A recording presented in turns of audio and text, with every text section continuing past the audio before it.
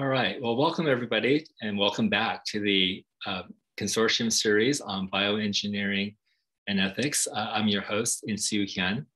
Um, I want to first, many of you have already been through this series before, but I just want to just go through some housekeeping issues real quickly, just so uh, everybody understands. Um, we have a Q&A feature at the bottom, so please, as the presentation is going along and questions arise in your mind, please use that Q&A box to submit your questions to the speaker, and we will get to as many of those at the end of the talk as possible. Um, if you have any technical issues at that point, you might want to use the chat feature to send a message to the panelists and to the staff that could help you with that. We do have um, upcoming uh, events, and you can find that under the bioethics.hms.harvard.edu um, subscribe address, and, and we're happy to have you for future events. So let me uh, welcome our speaker. Many people um, have a great interest in biodiversity and in environmental issues. And I thought it would be a nice um, change to this consortium series on research ethics to include issues such as the one that we're covering today. Back in the very beginnings of bioethics, the term bioethics used to be much more broad. It used to include not just human health and research, but also um, the well-being of the environment and ecology. And in that sense, we are sort of returning in this second half of our series to that broader sense of bioethics. Um, so I'd like to welcome our guest today who's uh, joining us from Hawaii. Mary Hagedorn is a senior research scientist at the Smithsonian Conservation Biology Institute and director of the Reef Recovery Initiative. She's worked in aquatic ecosystems around the world from the Amazon to Africa. Her innovative and interdisciplinary work uses basic science and human fertility techniques to address conservation challenges for threatened coral reefs. She's considered a leader in securing a future for marine biodiversity, and her unique team is the only group of scientists in the world developing and applying modern technology to conserve coral reefs. Mary, I welcome you to uh, this session, and it's fantastic to have you. The floor is yours please take it away. Mary will speak for uh, about an hour and then we'll have half an hour of Q&A. Take it away, Mary. Thank you, Insoo. It's, it's, it's a pleasure to be here. Can you see my slides? Yes. Excellent. Okay. It's it's an enormous pleasure to be here with you today. It's exciting for me as a, you know, sort of a bench scientist um, and a field scientist to be talking about some of the ethical ramifications of the conservation work that um, I'm doing. And um, I'm going to start out and, give, give you kind of a heavy uh, sort of description of, of everything that we do and, and kind of why we do it. And more towards the end, we can discuss, you know, what are some of the ramifications, both, you know, in terms of the work itself, but also the larger sort of uh, social good that we we um, can potentially see from doing this kind of work or not. And um, so I'm going to start by saying, you know, everyone probably knows someone who has uh, been involved in um, fertility um, clinics. Um, their family has used it, friends have used it. And we've used, we're taking those same basic ideas and applying it to coral reefs. When, when I first started this work, nothing was known about a sort of um, fertility uh, measures with coral reefs. And um, we had to develop our own science to be able to do this. And so we're sort of um, developing the science and applying it at the same time. A friend said it's like building the, building the, the, the, the plane in flight, which is really, I think, very accurate to, to sort of the need for this work and the, the need for developing new, new technologies and overcoming challenges um, and, and, developing sound strategies for conservation for the ocean. So I'm just gonna I'm just gonna broach these ethical issues right now, and we'll talk about them at the end. I haven't I repeated this slide at the end, but it's really um, the idea that um, many people do not want to see wild wild um, ecosystems managed in any way, and it's just there's something funny about it. We manage many many animal systems, but wild ecosystems, whether they're salmon or coral reef, they just don't want them managed or don't want to conceptualize that. Um, and then that some of the managers of these ecosystems can be risk averse. Um, we certainly have um, grappled with that during the pandemic. Also, um, climate change is changing the physiology of, of the organisms as we're moving. So our science has to change and respond to climate change. So it's this ever changing, moving target for us as well. And then there's a lack of understanding of really what intervention science can do for restoration of our important ecosystems. Okay, so for the, this is kind of, you know, I know it's probably snowy where you guys, so I kind of, this is kind of a dig slide. this is where I work at Hawaii Institute of Marine Biology. And um, the nice thing about um, uh, Kaneohe Bay, I'm on the island of Oahu, and um, I work at the Smithsonian, but my lab is here. And we have uh, all types of um, coral ecosystems here. We have patch reefs. We have about a 50 of them in Kaneohe Bay. And we have uh, fringing reefs and we have barrier reefs. So it's a really great natural laboratory to just be able to take a boat or a swim and get coral. Um, it's like in the Great Barrier Reef, it's 17 miles offshore even to get to it, and it's very deep and rough water. So you have to have, um, a, you know, a seagoing vessel to get any coral. So um, coral reefs are some of the oldest and most diverse ecosystems on our planet, but in every ocean they are under siege. So they're all in trouble. There's not a single place in the world where they are not. Um, and just to give you some perspective as to why corals are important to us, um, we live on an ocean planet and um, the oceans produce about 50% of our oxygen for us. Corals are involved in that oxygen production pathway. So they help us breathe briefly. Corals um, are ecosystems engineers like trees, um, and they are both animals and habitats, just like trees are both plants and um, habitat. And so they're, they're a critical habitat on Earth because they do change our, our ecosystems and they actually change our weather.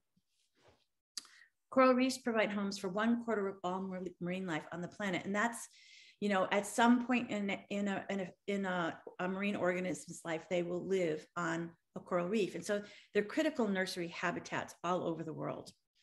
They are also a source of, of new medicines such as antibiotics, cancer, and HIV, AIDS drugs. NIH has been collecting corals because they're so the, they are such old animals on the planet they have chemical defenses that are very unique just like trees. And so there's some very unique uh, chemicals that we will use from corals um, in the future.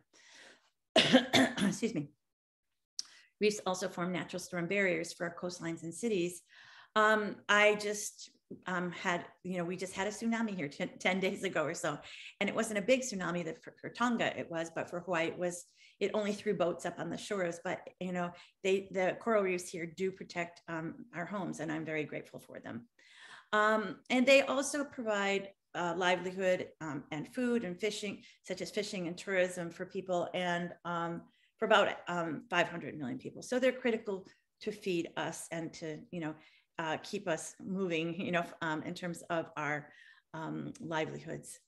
Reefs also contribute about $350 billion annually to the global economy. So they're a major financial driver as well, you know, in terms of, um, uh, you know, um, our planet.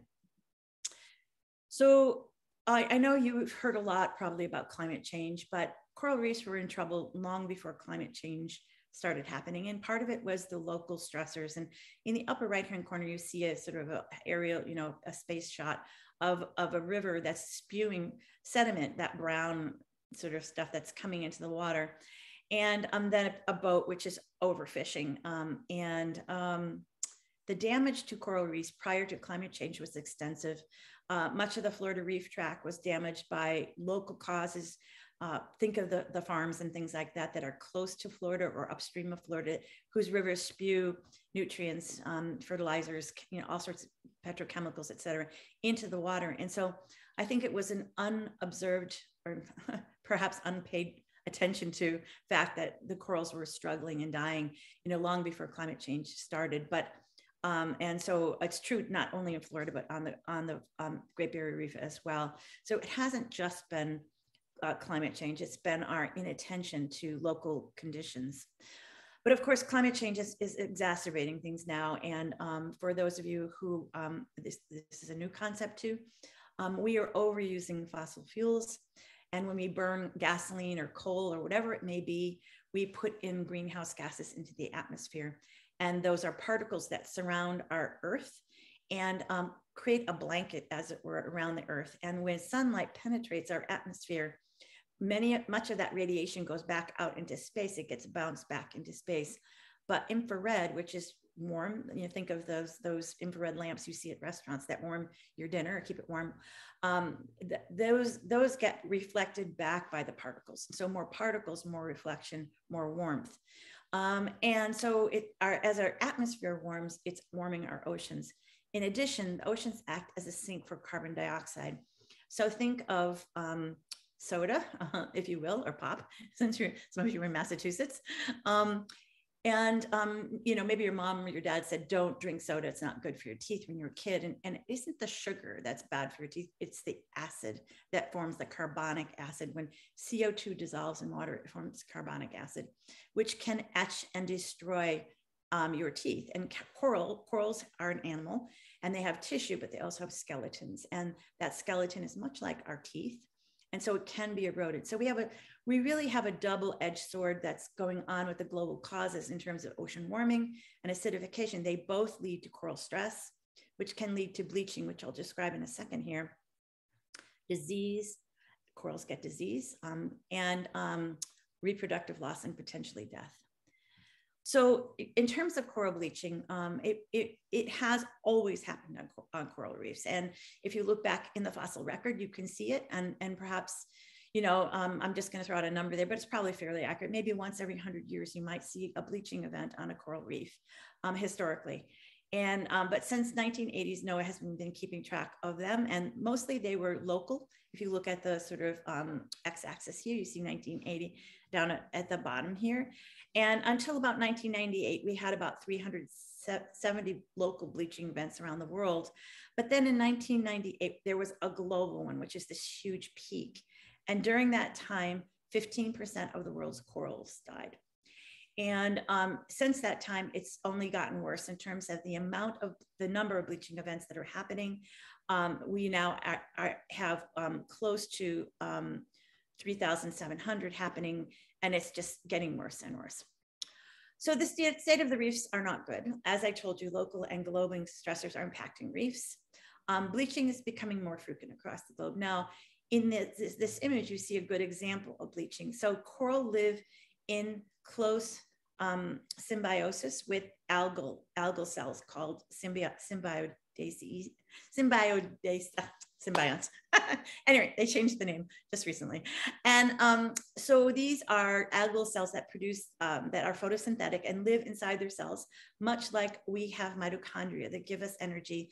Symbionts give coral energy. They take the sunlight um, and through photosynthesis produce sugars that power the cells of the coral by feeding them these sugars that can produce proteins and fats and um, during um, a warming event, like in usually an El Nino year, you'll get warming events. And during El Nino years, if you're on a coral reef, if you've ever spent any time in the tropics, you know it's, it's sun and shade constantly. There's always because we make cumulus clouds in the, in the tropics. And so you have these puffy clouds that are always going by and blocking the sun.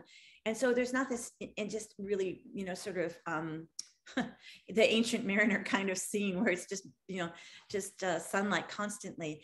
Uh, it's it's but during a uh, during an el nino year it is. And so you get a lot of much more intense sunlight. And the waters are warming and this stresses and over um, the stresses the symbionts their photosynthetic apparatus gets damaged. They stress. They produce ROS um, which is a reactive oxygen species and the corals kick them out and so this can, they can turn from their usual brown or green and the symbionts produce the color for corals. And so you can see them go from a normal color to a bone white color in just minutes, like a half hour, um, that they can just release all their symbionts and they release them into the water. If they do not get them now, the coral is not dead at this point. It is, um, it is, it's kind of like the invisible man. You're, you're looking through its tissue, which is a thin veneer on the skeleton and that you're seeing the bone-like skeleton. But if they do not get their um, uh, um, symbionts back in about 10 weeks, they will die. So um, as I said, many, many species, um, ecosystems around the world have lost um, their, uh, their, their um, coral. So what we are proposing is to use cryopreservation, or what we're doing is using cryopreservation to try and help coral reefs. And um, we believe that through cryopreservation, we can save the genetic and species diversities of coral reefs. Um, now, just for non-science um, majors, um, genetic diversity is the number of animals in a population. You wanna have as many as possible so you don't get inbreeding or inbreeding depression. And biodiversity is just the number of species. You wanna have as many, ecosystems do better uh, the more diverse they are. They can respond to, to natural disasters if you have more species. So cryopreservation is the marriage of animal husbandry, physiology, um, development, engineering, and quality, quality control and biophysics at cold temperatures. So it's this, this amalgam of different sciences that are never taught pretty much in, in, in most universities classes. If you're an engineer, you you may get some um, biophysics and um, uh, heat heat transfer and things like that that um, deal with cryopreservation, but it's not often taught in, in schools. So um, the goal with cryopreservation is a sort of a triangle where you have a cell in the center, which is the, the blue triangle, and um, you have water permeability, which is um, water must come out of the cell and it dissolves across the membrane.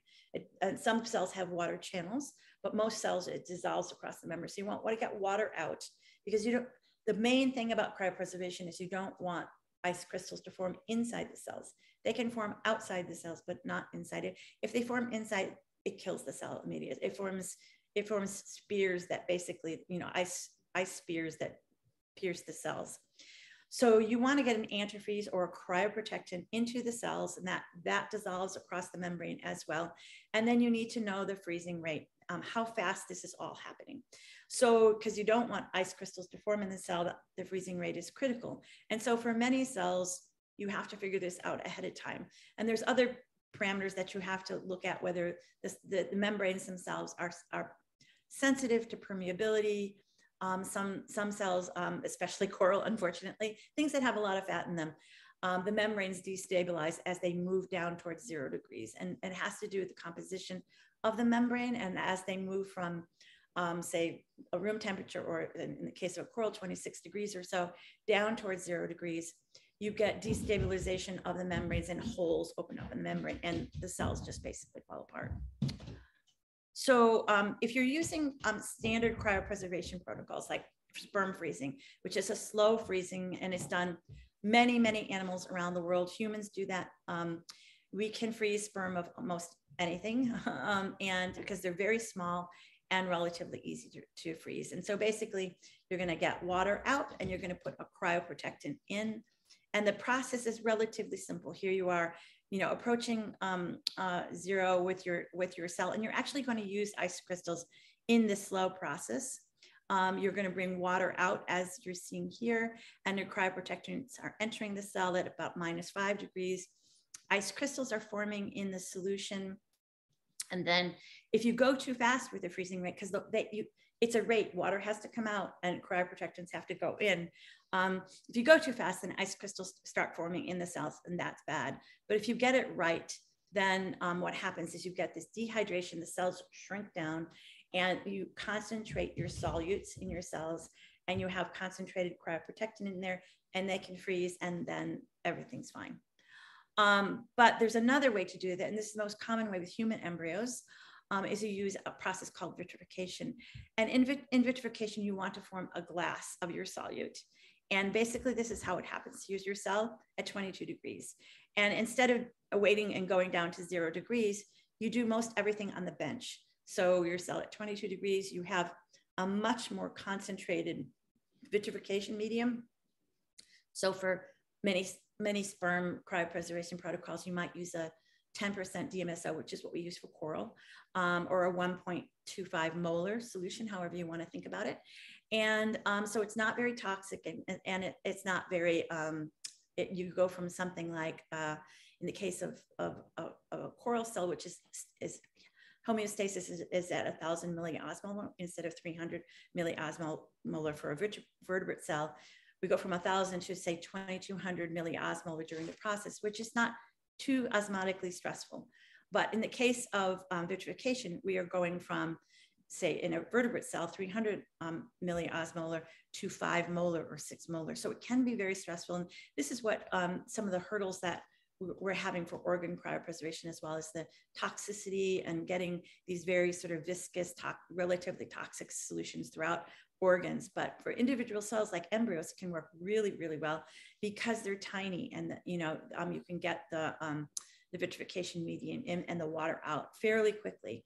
And so then what happens is that once you you you've gotten the cells to the right shrinkage, the, the amount of concentration concentrated um, cryoprotectant inside the cells, then you just plunge them directly into liquid nitrogen and, and it forms a glass. So instead of forming ice, which you can see with your eye when you do it, you have this, like if it's an embryo, you have this beautiful embryo that's clear as a bell.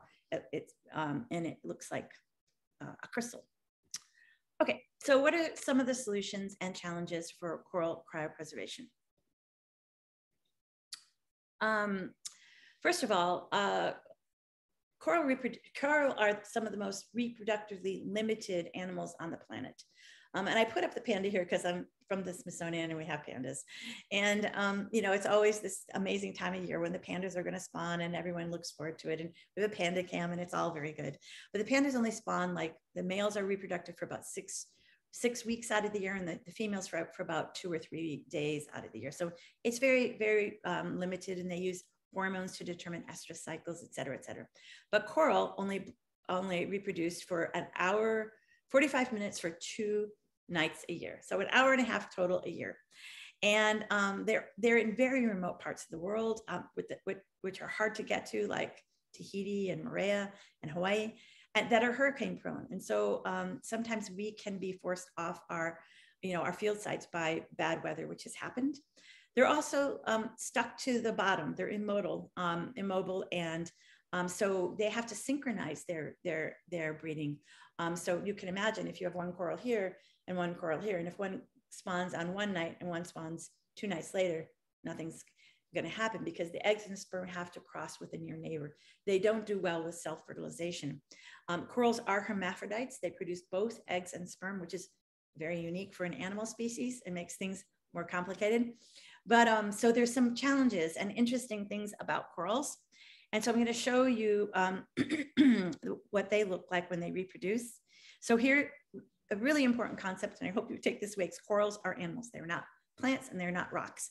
They have some of those features because they have a skeleton, which is rock-like. We do too. And they have algae that live inside of them, which are plant-like. Um, and you can fragment them. Corals can reproduce sexually this way with eggs and sperm, but asexually, like a plant can with a fragment, and we'll talk more about that later. So um, here is, is, an individual coral polyp in this blue um, circle, and corals from colonies. So one coral polyp settles, and then it, it, breaks into two, and then into four, and then on from there. So they're colonial animals that are mostly genetically identical in the colony. when they breed, many species produce, produce egg sperm bundles. And what this is, is these large spheres filled with eggs. And you can imagine, think of a, a, a cluster of grapes with a packet of sperm in the center. And those are filled with lipids and those rise to the surface. And you'll see that in a little bit in the video I show you.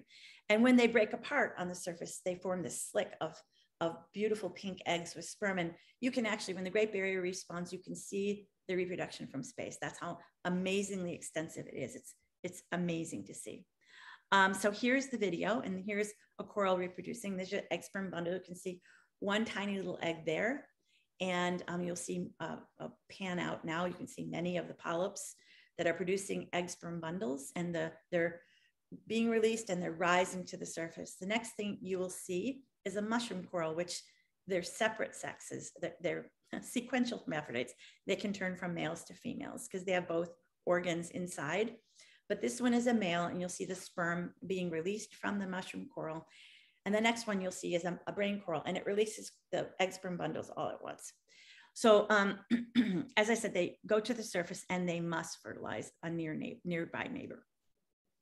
So here is my lab and um, they uh, are many of the people who have produced a lot of the information you're gonna hear today. So we'll thank them.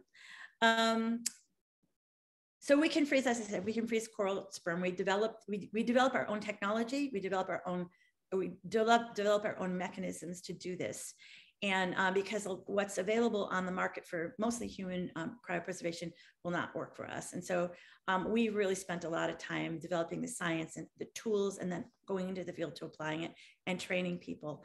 And um, so the sperm um, cryopreservation is the most extensively um, done right now around the world. We have about four, um, here's some of our, here's some of our earlier um, sort of things where we actually try and make things very inexpensively, like our tools inexpensively, because we want to democratize our science. We do not want people who do not have much money around the world to be, not be able to do it because you need a $25,000 piece of equipment. We make our own. And in this case on the left, it's flip flop material with aluminum canes and cryovials that float on the surface of liquid nitrogen.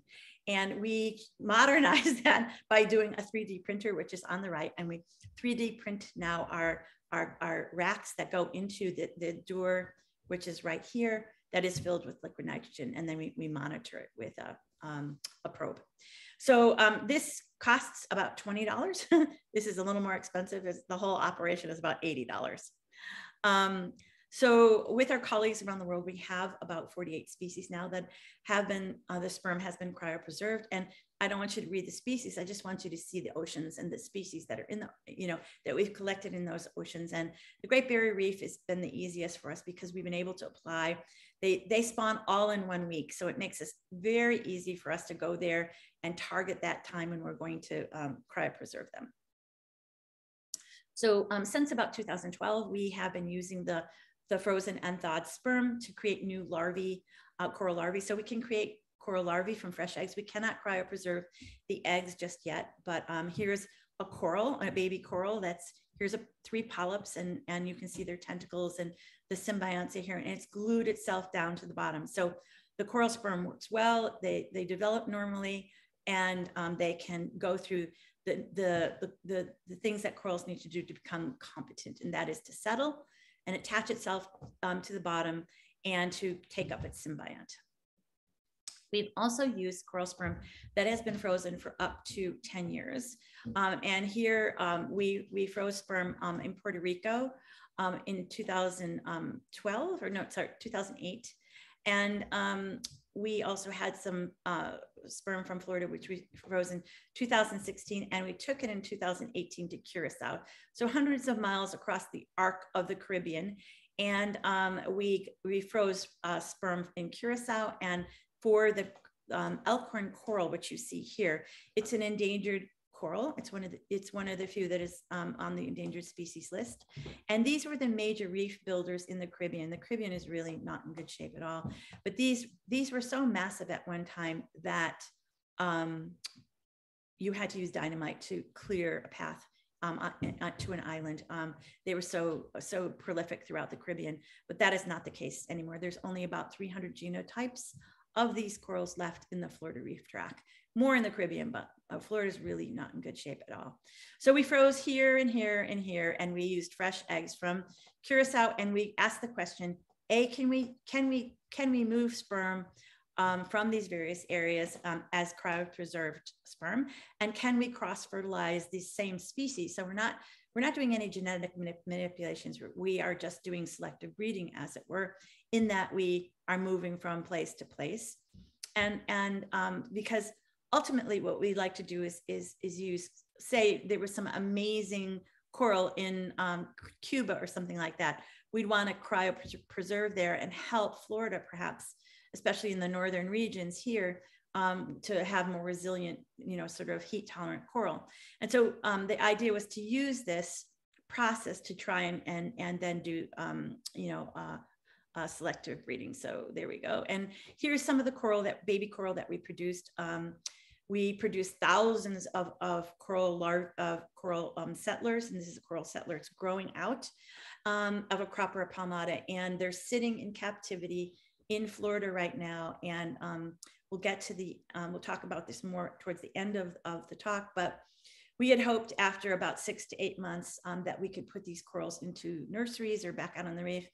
And um, because there's only 300 genotypes, and we have now in our in our collection, we have hundreds of new genotypes that could, could really diversify the reefs in Florida and the, the managers are not um, willing to put them out on the reef or even let us put them in nurseries at this moment in time. And so we're still under discussion and we'll talk more about that. So the other thing we want wanted, so the idea really is, you know, you go into a fertility clinic as a family or an individual, you want to possibly do sperm, freeze sperm. You might, if you're a woman, you might want to freeze eggs, or if you're a couple, you might want to freeze embryos, whatever. If you're go, undergoing cancer therapy, you might want to freeze ovarian slices. There's just a whole host of things that you might want to have done to make make your family more stable in the future. And that's the kind of thing we wanted to have for corals as well. We wanted to have a menu of things that you could you could use. And um, so the next thing we we worked on were coral larvae, whether we could cryopreserve them. Now, when this, these, this is a, pic, a beautiful picture of coral developing. I think it's just magnificent. And but you can they're filled with fat. And just to give you um, some perspective, um, uh, coral uh, human embryos, we we froze human sperm in like the 60s I'm just using round numbers. Um, we froze the first human embryos in the 80s and the first um, human eggs in around 2000. And yes, we could do it, uh, you know, um, probably before that, but it wasn't used in you know clinics very well. But the thing about human um, embryos is that it became really well used and very good, like 90%, you know, um, uh, implantation rates and things like that for human embryos um, after vitrification was devised by my colleague Bill Rall. And so the reason that it did better is because coral um, human embryos um, are, have fat in them, and um, by vitrifying them, they you form the glass, and there's no ice crystals. And so we had to do the same thing for coral larvae. I started freezing coral embryos almost immediately when I started this work, and I must have frozen millions of them, and they all died. Um, and so um, vitrification is important. But when you freeze, you have to warm more rapidly. And as tissue gets bigger and bigger, you have a more of a challenge to warm rapidly. Uh, so think of Mercury versus Jupiter. The difference in the um, the volumes of those planets is massive, and and so it's it's kind of the difference between say a human embryo and a coral embryo. They're just the coral embryos are massive. And so we had to use really, we had to develop new techniques to be able to do this. And we did this with laser warming. Um, we used standard vitrification protocols, but then we had to use lasers to warm them at millions of degrees because as you freeze during vitrification, you form ice crystals or ice nuclei form in the solution. You cannot see them, but they're there. And at, if you don't warm fast enough, you go through this process called devitrification, and this, those nuclei bloom into um, into um, crystals, ice crystals, and then destroy your tissue. But if you can go fast enough, then you won't; those crystals won't form. Fat, those crystals will not form. And so that's what we did with lasers. We warmed up millions of degrees per minute. And um, here's what happens when you you just um, you know just uh, when I said I I, I froze millions of coral larvae. This is what it looked like. Uh, there's a coral larvae on the left. And if you just bring them down to zero degrees, their membranes are so chill sensitive, they just fall apart. So you have to vitrify them. You cannot slow cool, you cannot use slow freezing. And, the, and then the vitrification process, you know, if you're just using benchtop warming was not fast enough. So um, John Daly, my uh, postdoc John Daly, um, who's now in Australia, um, helped us develop um, laser warming for coral, um, along with our colleagues at the University of Minnesota that um, Insoo is working with um, in the ATP bio program, um, John Bischof and Kanav Khosla. So here's a little um, video of the process. So you take your pipette and you um, put a drop on onto a cryotop and it's filled with coral larvae and gold particles. Now um, the laser cannot warm the, the embryos directly. It has to warm a radiator and that will radiate heat to the larvae. They go into liquid nitrogen. Um, they go into liquid nitrogen that freezes them and vitrifies the droplet.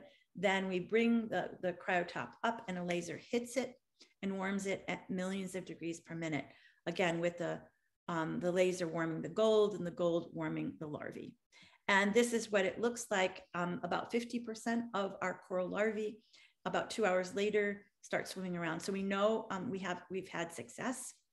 And um, the nice thing is um, the um, we uh, we get so on, the left you see the um, the cryotop with your coral larvae in it, and you get about 50, 40 to 50% of your coral swimming. And we also know that they, they settle and they will take up their symbionts. And so their symbionts are here um, in the in the in the coral larvae. But the the great thing about this, as I said, with, with sperm, if you if you um, have frozen sperm, you can diversify shrinking populations with sperm. So corals, you know, any kind of sperm frozen for a population is really important. Even if you can't freeze the, the eggs or, of, of a species, you will be able to diversify the population, which is the critical thing for managing populations. And here's the same thing, but it also prevents species extinction. If you have frozen larvae, you can actually just regrow them, you know, um, back out on the reef and, re- and, and reseed the reef in the future. But um, we want to be able to um, do this faster. Um, so this is um, this is our restoration process where we are actually printing um, droplets and then put, putting them into liquid nitrogen.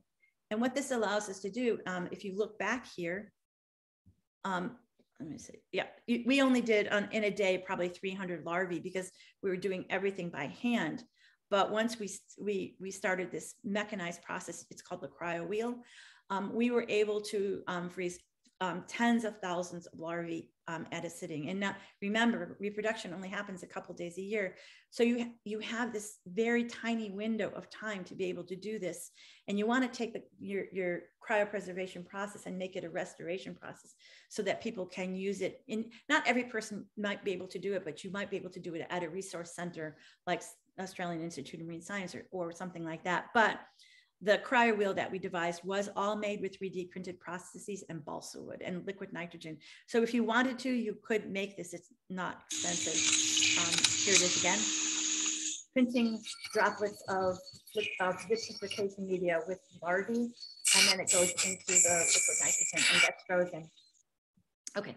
Additionally, we can freeze the, the other complete half of this story are the symbionts. And here they are here. They're about 10 microns and they're brown and photosynthetic.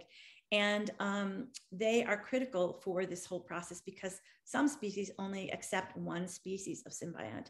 So it's not like, you know, the symbionts are out there and it's very egalitarian. No, they're very specific about the type of symbiont they, that they want. And most coral must take up their symbionts after they either before they settle or after they settle. They don't get them from their parents like we get our mitochondria from our parents. Some do, but not all. And so, in order to help larvae, if you've got cryopreserved larvae or, or whatever you're doing, you must have the symbionts. So, my, my postdoc, Jess Baumeister, is in, in the process. She's using lasers as well um, for the cryopreserved symbionts. And um, recently, um, although our numbers weren't massive, um, we, if you look down here at the bottom, here is a is a coral coral larvae that's smashed. You can see it on the, and the only um, we do this so you can see the brown symbionts. The coral larvae are brown, these white cells, um, and um, they take up their symbionts at a, the species at about um, day four, and um, and then it, we look at them about two days later. Um, and here's a cryopreserved one. So they aren't taking up quite as many. And it's we're still in the beginning process to make this better. Um, but we're very pleased that the coral larvae will take up the coral, the cryopreserved coral symbiont. So this was a huge proof of concept for Jess and in the whole process. And we'll, we'll nudge this forward and make it better and better. Okay, we also cryopreserved coral reef fish. Now, um, my kind of my colleague colleague um, um, Kanav Khosla and John Bischof um, and, and I cryopreserve the embryos of, of fish. They're even bigger than corals. And that's where we first used laser warming. Um, I worked on it for over 20 years. Um, and then when the lasers became available, um, that's when we had the success because we could not do it with just benchtop processes. And so kind of got that to work. And um, but there's another process um, where you actually cryopreserve the testes of fish. And the good thing about fish is that their stem cells are pluripotent, and that means um, that they can turn into, um, they still have the uh, capacity to turn into ovarian cells or testicular cells if you have the stem cells. And so if you cryopreserve the testicular, like you just cryopreserve the testes of a male fish, um, you the stem cells can then be reimplanted into. So here you, you're cryopreserving the cells um, in, and it's very simple. It's like, like I can teach anyone to do this in a half hour. It's so simple. and you can do it in the field. You then can thaw out your cryopreserved cells and inject the, them to the embryos um, and are, are a new um, or sterile host or embryonic larvae that have had their their their um, uh, reproductive cells destroyed. They will then grow up. The host will grow up the cells from the donor, um, and then when they when you spawn them, you get sperm and eggs, and you can produce thousands of new of new fish from the donors. Now, this is good for almost every fish species we've tried it for, and this is the work of um, um, Yoshizaki et al. in, in Japan. He, he worked out all of this, and we've now started applying it to coral reef fish. And we're hoping that NOAA and other groups will start to include this into their workflow so that when they collect fish, they cryopreserve them and store them in places like the Smithsonian, because you do not need the original species. This, this species can go extinct. As long as you have the testes, you can put them in um, genuses that are um, uh, related and you can get that species back up. So it's it's this incredible sort of res- resurrection science that that um, uh, goro yoshizaki developed. Okay uh, i think i told you that coral coral reefs are having problems um, in terms of reproduction with climate change. It's it's having an impact on them. When coral bleach now think about this just let's go back to humans again. You know if humans go any, through any kind of stress it could be cancer it could be any kind of disease generally they're not going to have um, you know enough reserves to have children in the near future. You have to build up your reserves again and then um, you know, then you're ready to go. It's the same with coral. When they go through a bleaching period and they um, are stressed they use up a lot of their fat reserves and they don't either don't reproduce or they reproduce poorly. And we can see that um, we, we use a process called casa which is, is used in human fertility clinics as well where we actually look at sperm motility using um, computer assisted sperm analysis. And you can see that after a bleaching event um, the sperm is about 50% less motile and you can't cryopreserve sperm if it's if it's below 50% um, generally you, we try not to. Um, it's true for humans as well that's the cutoff. Um, and um, because you won't get much fertilization um, cryopreservation process is damaging you know nothing's for free in life.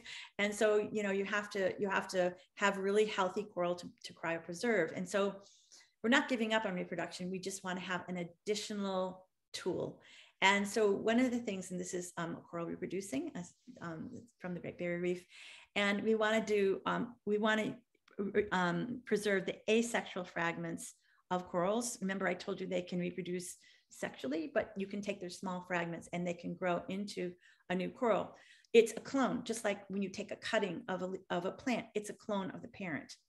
Um, so here's what they look like. Uh, they're tiny little fragments about thumbnail size. And on on this coral fragment, there's about 30 or so um, polyps. And this ring, we they started gluing themselves down and growing. And this ring of tissue is stem cells. And when they're this tiny, they grow like gangbusters.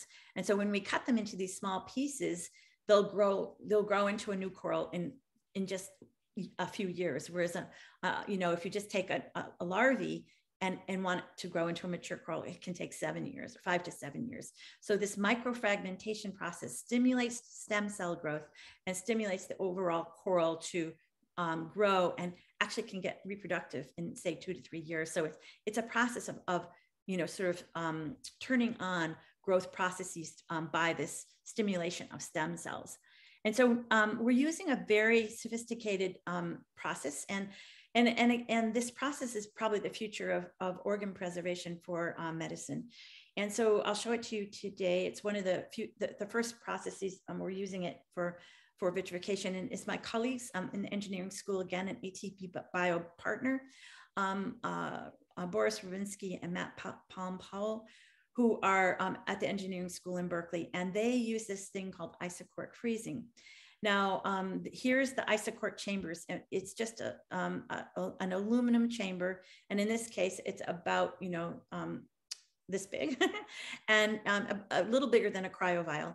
And it's made of rigid aluminum. Now, I want you to think about when you were a kid, maybe you put a soda can in the freezer to get it cold really quickly and then you forgot about it and then it, you came back and it was the soda can was you know enlarged or it burst in the freezer and your parents weren't very happy with you probably.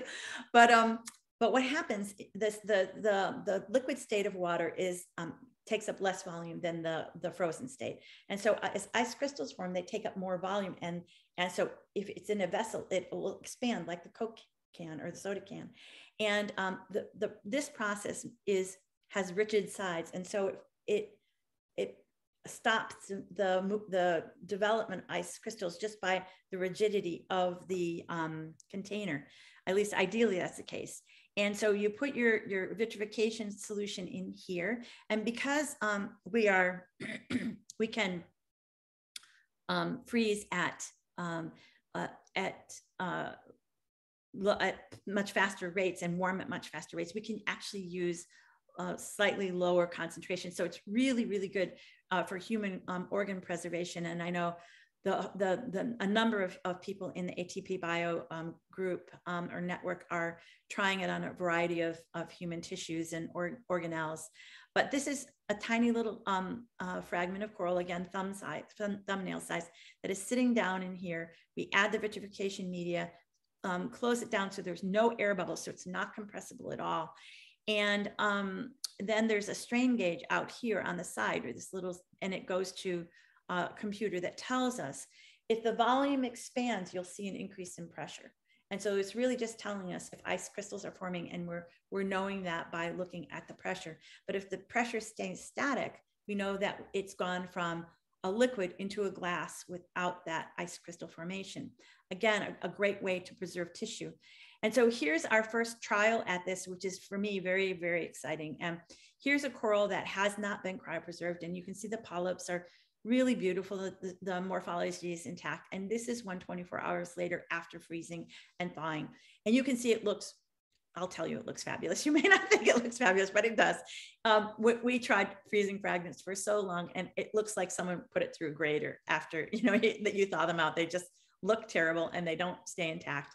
And so we're using a wide variety of, of, of tools such as confocal imaging and looking at green fluorescent protein to try and understand um, stress for these individuals as we take them through this process and, and to get them from this very stress stage to um, a healthier stage. And so for us, it's very much about sort of, you know, this is the this is the uh, hospital phase when they're like 24 hours to 72 hours, and we're trying a number of things. We don't want to use antibiotics on them because um, we we're concerned that um, the, the the corals have on their surface bacteria. It is it is their microbiome, just like our microbiome is in our gut.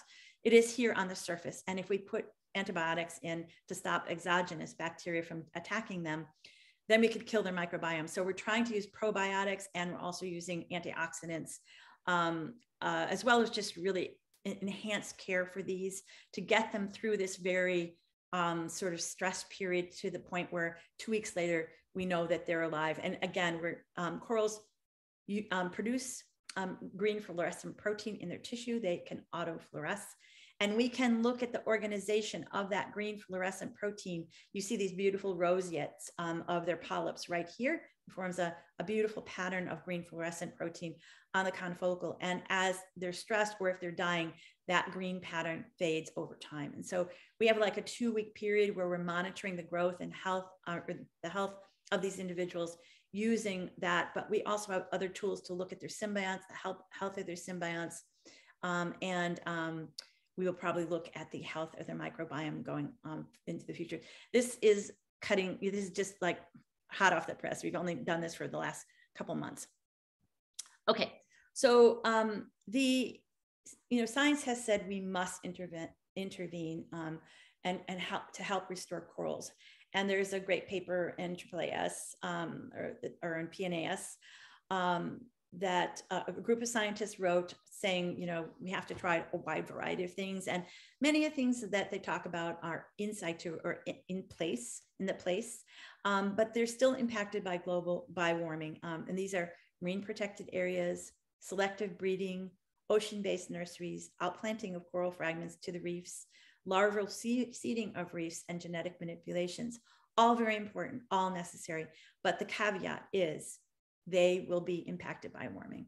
Um, then there's X sites are out of the place that are not impacted by warming. And these are land-based um, nurseries and aquaria um, and cryopreservation and biorepositories. Now, um, one of the things um, that is, is that we're, we are doing is we, we a, a consortium of um, institutions around the world have decided that we must add a layer of security to what um, people are thinking of already. And that is, um, we, we want, we formed this thing called, called the Coral Biobank Alliance. And we are bringing all 1000 plus species of coral into captivity. Um, and the reason we're doing this is because if you look at distributed aquaculture for um, corals, people have been able to maintain corals in tanks since the 1980s. And then if we pair this with cryopreservation and reproduction, um, we get not only sort of, you know, sort of clones in, in tanks, but then we can take them and we can cryo put them into reproductive systems and we can cryopreserve their sperm or their larvae or their fragments. And this is just kind of a timeline. I mean, we didn't even know coral reproduced until the mid 80s. So that's, it's very, very recent in terms of, of, you know, them as animals and knowing about the reproduction. And, you know, the cryopreservation wasn't, we didn't develop until you know, our first paper was in 2012. So as I, as, as I said earlier, we are building the plane in flight and, um, you know, in terms of developing the technology, applying the technology and getting it so um, that people use it um, for restoration. So here's um, the, the, the, network. Um, we're a, a, group of bi biobanks that want to um, preserve species for ecosystems restoration and research.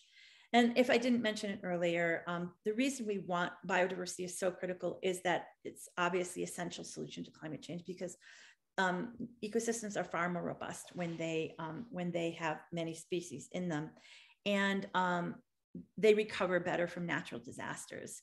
And um, you know, a biodiversity is just essential for our ecosystem services.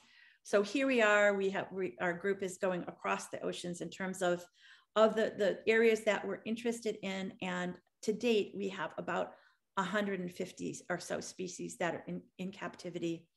Um, and um, you can take these fragments when you collect them, you can cryopreserve them, you can bank them. Corals can live for tens of years in culture. So maybe 50 or, or to 100 years. They will grow, they can be sent to other institutions. We can genetically identify them.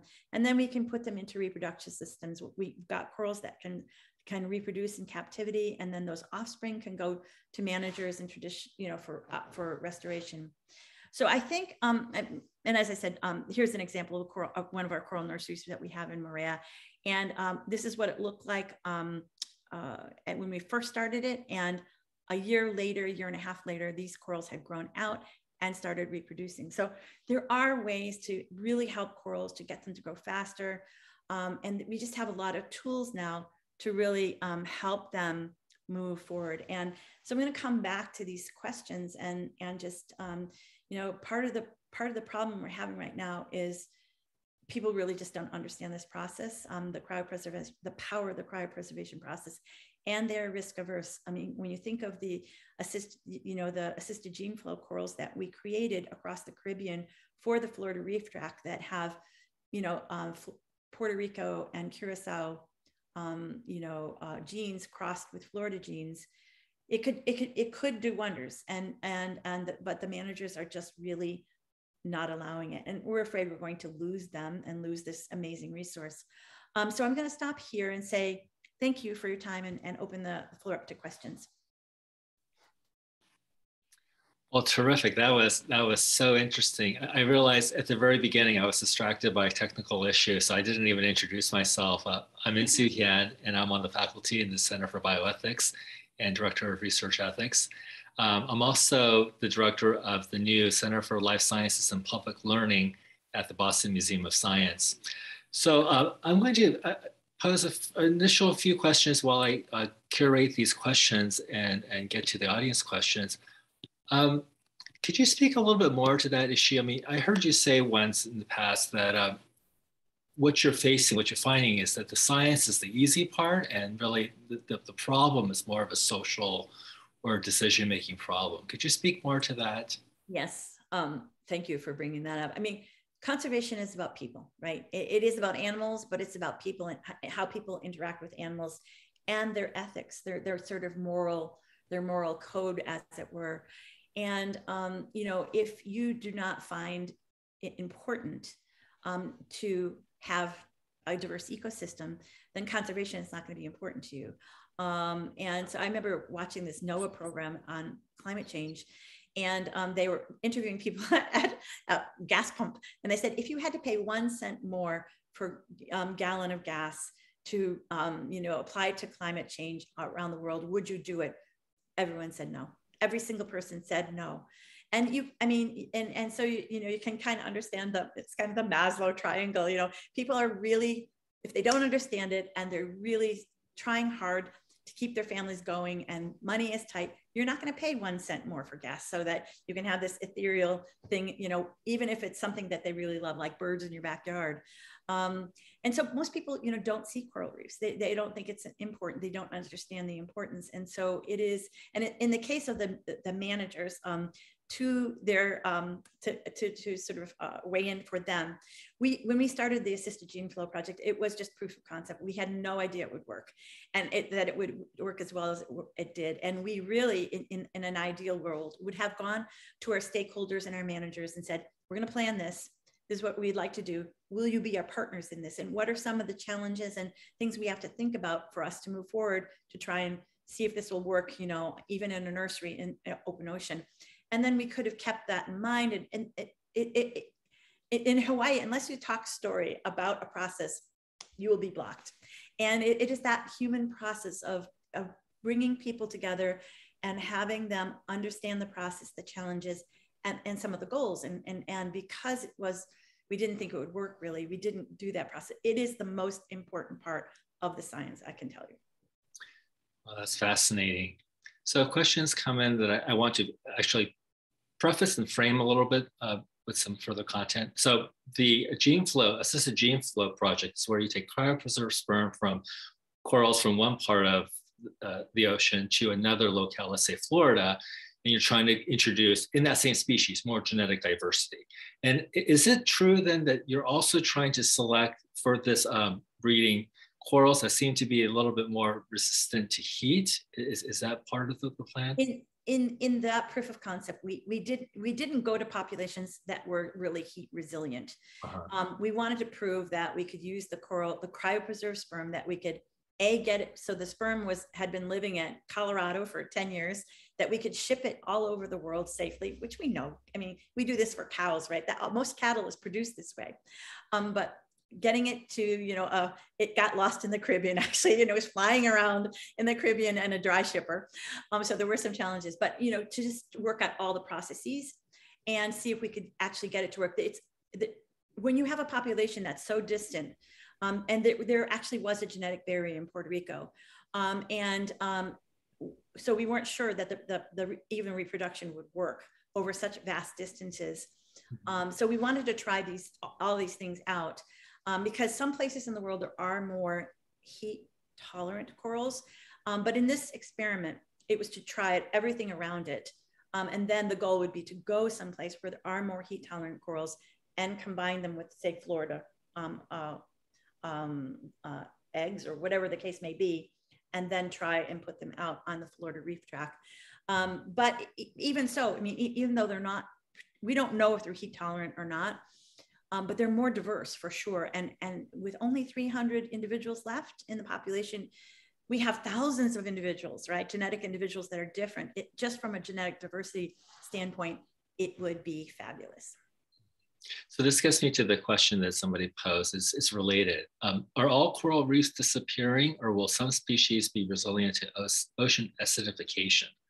If so, can we just facilitate the proliferation of the resilient species? So I asked about heat tolerance this is having to do with ocean acidification. Are there some that are more resilient to that? Because that's that's going across all oceans, right? Right.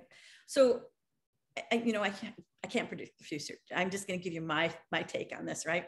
Um, and I, I I don't want to say never say never and, and, and strip hope away from people, but for now, I think we should be we should be doing everything we can. Every conservation aspect should be thrown at coral reefs right now. Everything from cryopreservation to restoration, uh, however you want to do it. But as we become intransigent about climate change, our window for getting for getting coral reefs and other ecosystems back to health is closing, right? And so our ability to do this, because as corals warm and warming becomes more and more constant, like if if we have warming every year, which is predicted by the end of this century, if we don't do anything, corals will stress every single year and they will not reproduce. And without reproduction, we cannot get adaptations. And but but you forget acidification is going along as well. So this erosion of the skeleton is happening. And once we get over um, 554 something like parts per trillion or parts per billion, I forget what it is, um, you know, of, of um, uh, CO2 in the water, that or in the atmosphere, this will corals will start to dissolve. So it's a it's a chemical process that we're up against as well as sort of a biological reproduction and adaptation process. And they are hard facts you know they're they're not open to debate in any way shape or form. And so you know unless we can really um, move towards a more um, proactive uh, lifestyle around the globe then no corals will not exist anywhere. I mean it's just a fact of the ocean. There may be there may be some deep ocean refugia. I mean, we do have deep water corals, and it's possible there could be some deep water refugia. That's why it's so important that we have these cryopreserved things because we can keep them for hundreds of years, and so um, they can stay in captivity, or we can keep them frozen for hundreds of years. And um, you know, our goal is to think about the oceans of the future and the people of the future. If their ethics are that they want coral reefs back and they have returned the oceans. I mean, think of some of the rivers that were on fire in the 70s and 80s in the US now have trout running up them, you know, in Cle- is it Cleveland where you are right now? I think it was Cleveland. Right. I don't know. It might be, it might have been Pittsburgh. Um, but uh, Cleveland. yeah, yeah. So I mean, we can help ecosystems back to health, um, but our, our timeline for the ocean is probably much longer. And the cryopreserved samples can sit there for hundreds of years and be fine. Um, so that's the important thing about them is they have a huge timeline that that allows us to talk, allows us to change our policies and our you know our, our structures and our ethics really in some respect um, and really work to making a better ocean for us in the future.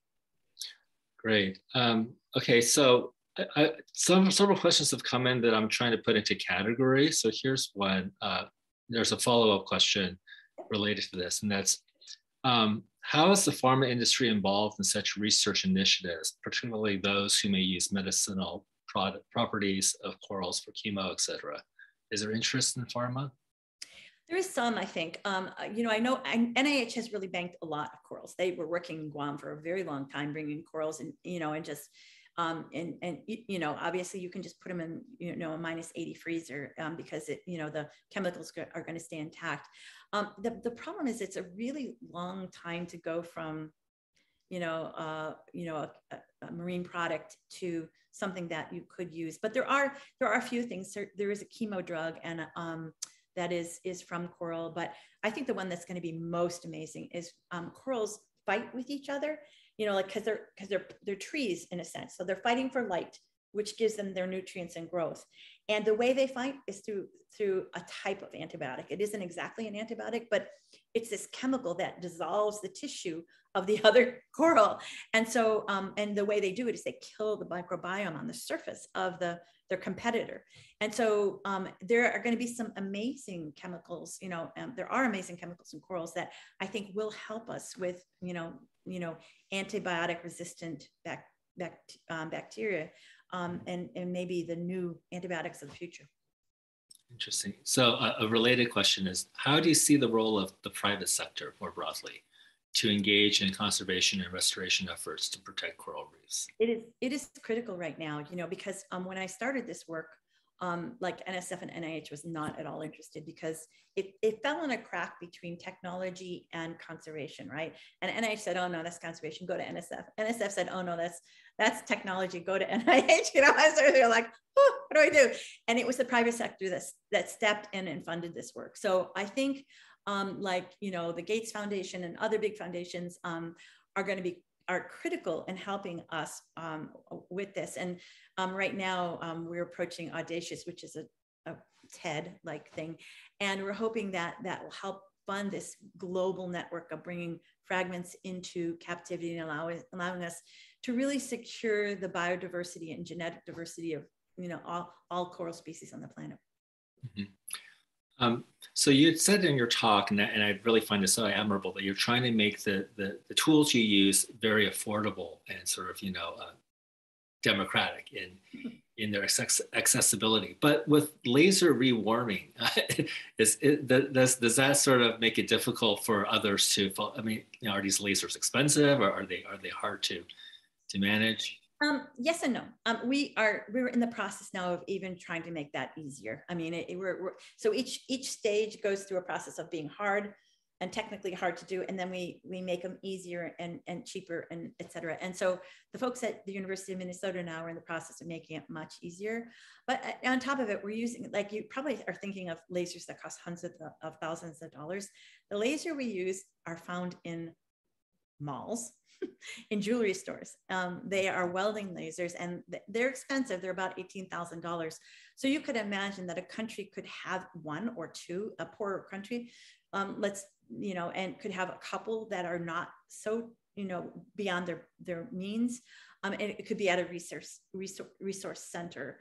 Um, so, but we're, we are trying to make it even easier and, and, and, um, and there are other ways we might be able to do this. Um, there's another kind of um, warming called radio frequency warming that uses um, a, a just a coil with you know radio frequencies and um, that would be another way we're, we're, looking at it. So we are we're very cognizant of the fact that we're using very sophisticated tools but we will make them easier and we will make them so that every country on earth that wants to will be able to afford them. Great. Now i want to start moving into some more general ethical questions that have come in. Um, so one of them is very interesting. So our local communities, for example, Hawaiians, uh, Tonganese, are they involved in these preservation initiatives? If so, which elements of the local culture's knowledges have been utilized? So yes and no. Um, I would say no in that there's a lot that that um, local communities can do um, to help their coral reefs that they're not doing. And and I, I since I live right here in a coral reef, I would say sediment is the biggest issue. You know, I mean, uh, local issue. Um, and you know, it's so easy to to figure out ways to block sediment from getting into onto coral reefs, and we are here in Hawaii are doing a very poor job of it. Um, and I would say yes. Um, in that um, recently we had a you know a biodiversity assessment here in Hawaii, and you know we spent a year talking with the community, talking story, having dinners, talking about you know how they um, you know the, i mean some of the folks and the families that have lived here in the bay um, have been here for hundreds of years and have you know um, you know extensive knowledge about the algae which they call limu the fish uh, amazing fishermen um, and the, the, coral reefs and so we really took advantage of that and we we had um, a, um, a, sort of our, our, cultural ambassadors who were our uh, Kupuna.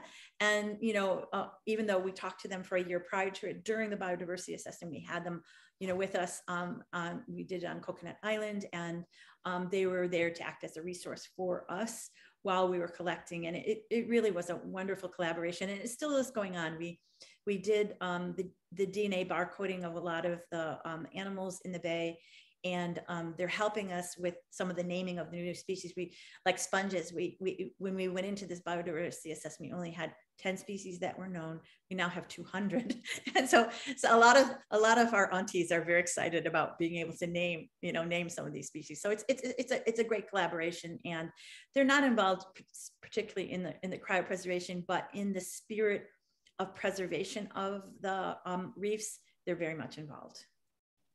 Yeah, uh, so I, let me pose one of my questions at this point then.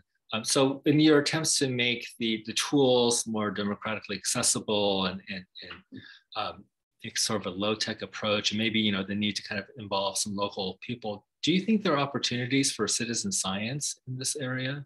Oh yeah, no, absolutely. And especially, you know, um, we, we're just, we, great question, thank you.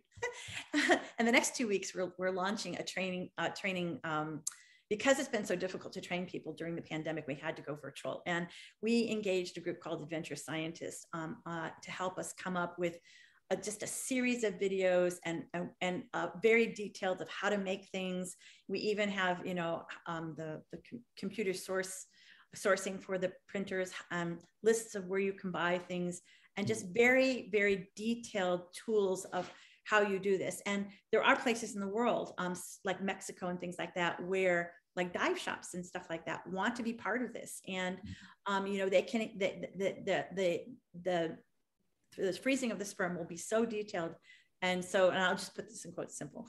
it's not exactly simple, but um, they will be able to do it. In fact, we've had we've had groups that have done it on their own just by reading the papers, which huh, was good. Um, but this will be much much better. And I think we'll it. What we want to do is standardize things. We want people using the same tools, the same operations, so that if we go into a bank, we know how it was done. And so that that standardization is really critical, I think, as we move into the future. And these kind of virtual trainings and things like that will help with that. That's great. You know, I've, I've had the opportunity to visit the Great Barrier Reef and reefs in Florida and Mexico. And I know there are many other people who just feel like they, they want to do something, they want to participate in some way. Um, so that could be incredibly empowering if you get help and they can help uh, together. Yes, absolutely. This common goal. That's terrific. Okay, so uh, several other questions have been coming in. Um, Dr. Hagedorn, your work is incredible. I'm interested in what you can share about diversity, perhaps extrapolate a little on different areas with different requirements. Uh, are there impacts to consider, positive or negative, on the surrounding ecosystems regarding our choices in the areas we may choose to expand the reefs? Uh, yeah. yeah, very good. Okay, so um, think about, uh, so the area of um, emerging diversity in the world for coral reefs is Indonesia. So Indonesia, when you look at it, it's, it's, it's considered a hotspot and it has, like if you go to the reefs there and you, and you just swim around, like in 50 meters, you'll find 100 species. There are 800 species of corals, more or less, in Indonesia. Um, and when you go to the Great Barrier Reef, there's 400. Still a very lot, of, you know, when we say a thousand species, we're not really sure because they, they hybridize and we we don't have a, a really good genetic tools for corals right now because they are such an amalgam of algae and bacteria and coral tissue. So it's been very challenging i think to get you know distinct tools but we're, we're getting there. Um, so there are many like hawaii we only have here in, in Kaneohe Bay, probably only 10 species, you know, so it's not a very diverse area. Um, and the problem with the Caribbean is that it only has 60 species. And so I'll use the Caribbean as an example to answer that question. Um, because there's only 60 species going on, um, there's there is a disease now that's going um, through the Caribbean called stony coral tissue loss disease. Um, most coral diseases affect one in the past have affected one or two species. This is affecting 22 species in the Caribbean. They only have 60. So one third of the species are, and they're being obliterated in weeks, you know, and it's traveling relatively fast. And so um, my, if we can get this fragment cryopreservation to work, we cannot cryopreserve in communities that have the disease because we will cryopreserve the disease, right? And so um, if we can get this fragment cryopreservation to work, the very first thing we will do is we'll go to probably back to Curacao or someplace like that where there isn't a lot of um, uh, there is there is the disease front has not gotten there.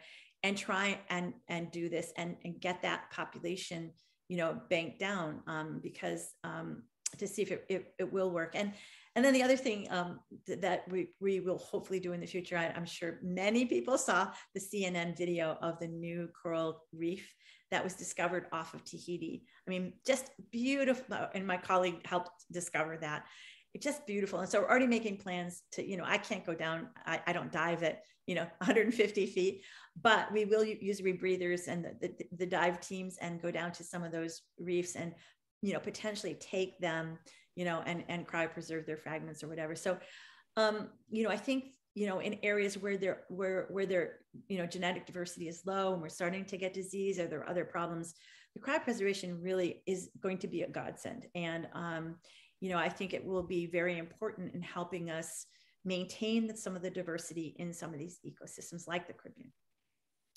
Yeah, uh, several questions have come under this, this uh, similar theme, so I'll try to kind of put it together. Um, so as background, uh, just so the audience knows, you're not proposing to do any kind of genetic editing or manipulation. You're just moving populations from one spot to another, maybe, or introducing more genetic diversity. But the question is this, Um, so of course, people might think that genetic editing is, is unnatural and kind of ethically problematic, but is there a sense of kind of worry that what you're doing is also somewhat unnatural, moving, you know, genetic populations around, that there could be unknown risks to that, and you know, kind of it is kind of unnatural activity, right? Like cryopreserving and moving things, uh, and you know, so, so, what, so what's your response to that kind of like, well, is it really that natural? How do we know that might upset?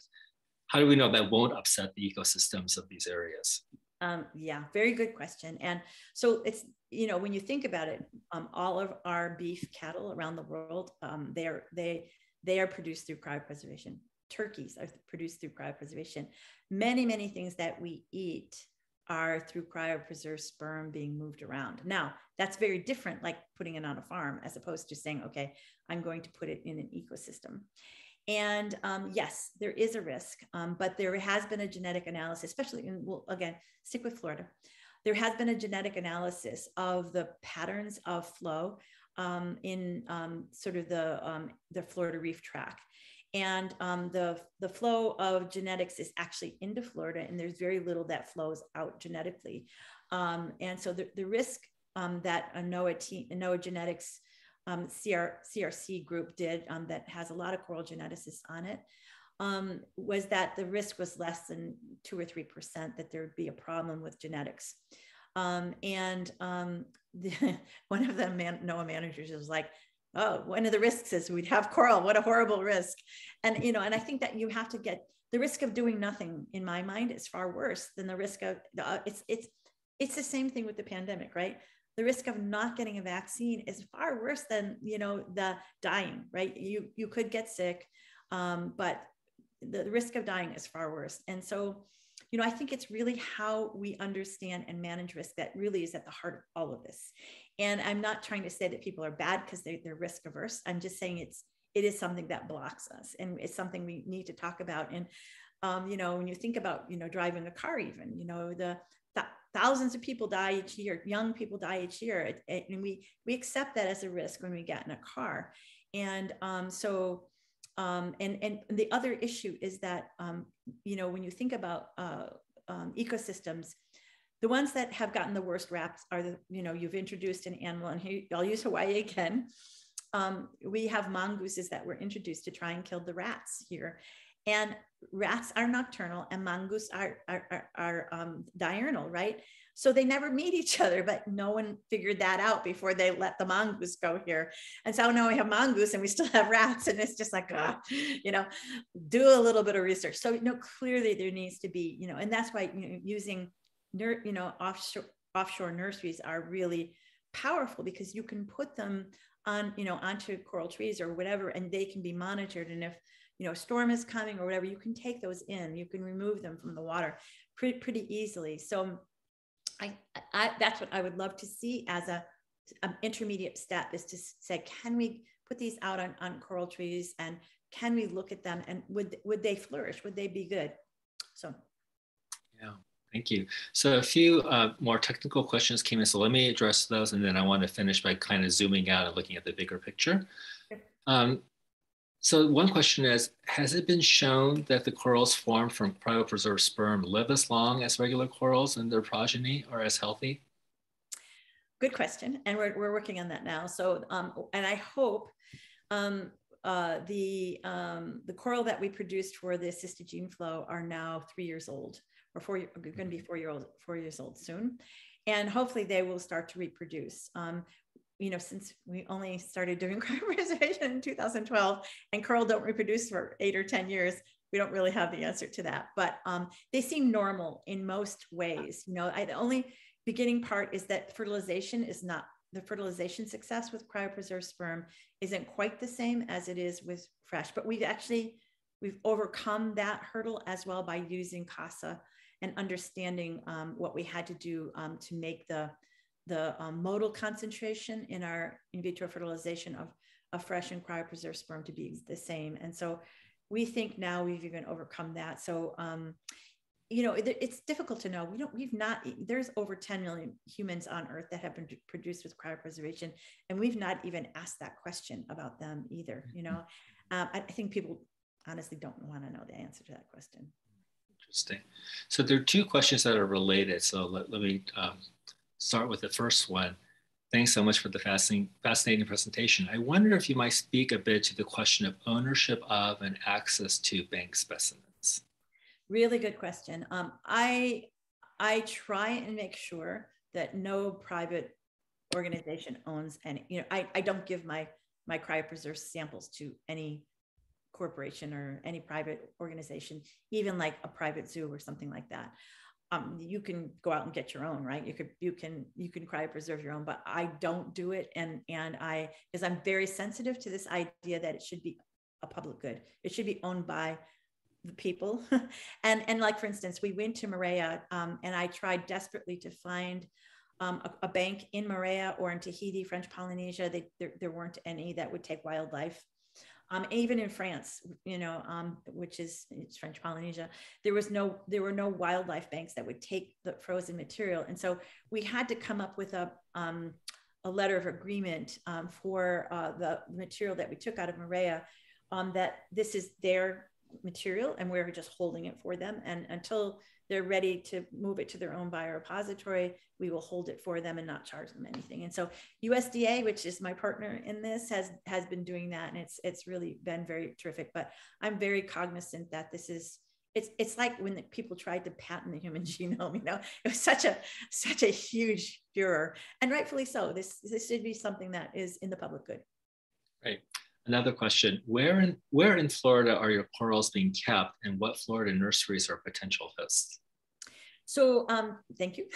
Florida Aquarium has some, and um, Mote Marine Lab, which is down in the Keys, has so Florida uh, Aquarium is in in Tampa, and Mote Marine Lab is is down in the Keys, and um, Cor- the Coral Restoration Foundation, which stretches all along the coral reef tracks, has volunteered to take the, our, our um, assisted gene flow coral and to test them out on their coral nursery trees. Um, so we're hoping, I mean, so we've had the willingness to do this for since we, we got them. It's really just at the state level that's blocking it. So um, we're hoping that, you know, it's, and it's been very difficult, the pandemic. I mean, add, add, take one more risk to the pandemic, right? This is not something people really want to even talk about. So hopefully after the pandemic, I, I'm hoping I'm going to be able to give some in-person training in Florida this summer and maybe you know bring up this issue one more time and nudge it forward if, if possible. Right. Um, one more technical question. What do you think about efforts to treat disease corals by application of microbiotica biotica targeted methods? Um, my colleagues um, at um, in in, um, in North Carolina and in Florida at the Smithsonian Marine Lab there are using probiotics. They they've like gone to corals that um, survived and they've harvested the microbiome. Um, but then you have to, not all bacteria is good bacteria, right? So you have to go through all the multitudes of bacteria that they played out and see which ones are going to be good. So it's there's a time lag there, and they do have some probiotics that are helping the corals, but there's a question of whether it sticks. You know, um, whether they they help them for um, several months and then they get reinfected again. So um, I think it's still very much in process, um, but I think there's there's definitely um, you know a future for for having it. It's really you have to bring them into captivity to do that, um, and um, you know how do we how do we do it? I, my colleagues are actually putting bags around corals, you know, on the reef and injecting the probiotics and things like that. But it's still the very how do you make it? How do you make it again reef wide? And you know, it might be something that could be pelletized you know, put in pellets that could dissolve and you, you spray them with, you, you know, a, um, a, you know, a crop duster or something like that. Um, I don't know the I don't know the answer there, but I think we will have some very or even robots. We get underwater ro- robots that deliver it. So we we are gonna we are gonna move forward on it, but um, you know right now it's it's it's still in its infancy, and unfortunately the you know the corals don't have a, a ton of time. So I'm going to finish with a couple of questions as kind of zoom out and get some bigger, uh, bigger, broader issues on the table. So one person asked um, specifically what changes in ethics would resolve the problem. So let me try to address this first. I don't know if changes to ethics would resolve the problems, but definitely I think changes to the way we think about ethics would be necessary. So ethics from the time of the Enlightenment, secular ethics has been very individual responsibility focused. What makes one person responsible for some bad outcome? Who bears responsibility to correct the problem? Where now I think we need to talk much more about collective responsibilities, uh, collective duties to, to act, collective duties and responsibilities for bad outcomes. Um, and so it's kind of what I think some philosophers have called the many hands problem. How do we kind of address these many hands problems where many people have some bit to do with, with both the solution and the, uh, and, and the problem? Uh, so I would maybe encourage a reorientation of the way we think about ethics and also include under ethical responsibilities, responsibilities for uh, toward e ecological systems, not just other people and societies. Um, but I don't know if anything, if you would want to add anything to that, of kind of like rethinking the way we do ethics here. I, you know, I agree with you entirely. I think that's, you know, that sort of sort of um, more socialistic approach to ethics in a way, you know, in, in terms of responsibility, but but also, you know, you know, we have seen an evolution of how we think about animals in particular, you know, um, where we never thought of the, their good before. We we do, you know, PETA, we we treat farm animals hopefully better than they used to. Certainly, zoo animals and uh, uh, research animals def- differently. Um, many people have pets that you know are part of their families now, which 100 years ago in the U.S. you wouldn't see that, and certainly you know uh, it's it's an evolving um, uh, ethos in the rest of the in the rest of the world. Um, but I think the question of do we can we can we really um, in good conscience wipe out species with no with no you know sort of consequences to us the answer really is no. And and you know it shouldn't be just because they do think good things for us right? And they give us oxygen we like to breathe. Um, they protect our homes. I mean there's some really big ecosystem services that corals do but it's really a moral thing you know? Um, we should have consideration of other species. We are not this the only species on this planet. Right. Yeah, I, I, wanted to introduce your topic to my speaker series because I want us to rethink what we mean by doing bioethics what the scope of bioethics should actually include. Let me conclude with just the following final question to you for me. Um, what do you think is the biggest challenge facing your work going forward? It may be technical, it may be social, and what gives you the most hope?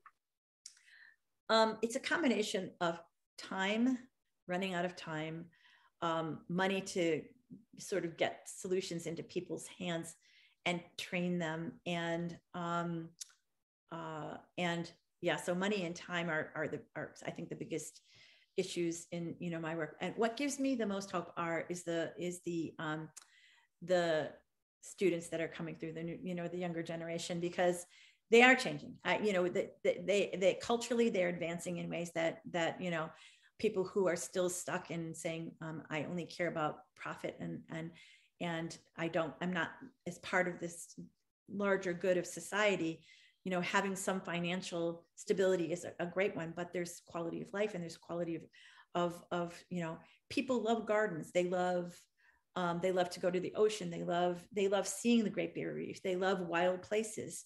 This is of enormous value to us and as as a species as individuals and and and getting that so that's more in the public realm you know just as we're trying to change how we do business so that one a group of small group of people are not making billions of dollars while the workers are making next next to nothing.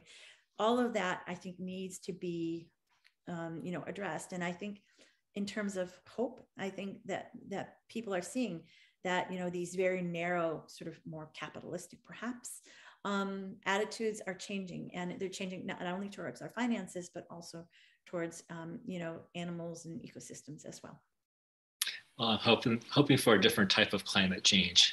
change yeah, exactly. Too, exactly. Well, with that, I would like to thank our guest, Mary Hagedorn, for sharing with us your fantastic work and your insights. Thank you. I also wanted to thank Ashley Troutman and Helen Stefanidis for their help in organizing the session. And I want to thank you, our audience members, for joining us yet again, yet again for the series. I will see you again next month. Uh, this concludes today's session. Have a great weekend. Thank you, everyone. Pleasure.